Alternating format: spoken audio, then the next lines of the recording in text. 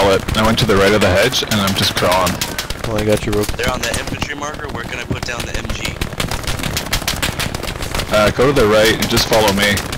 Um, or you can set up on the, uh, You my... just flank to the oh! left of that hedge right beside Oh the open. damn, bro! Did you see that?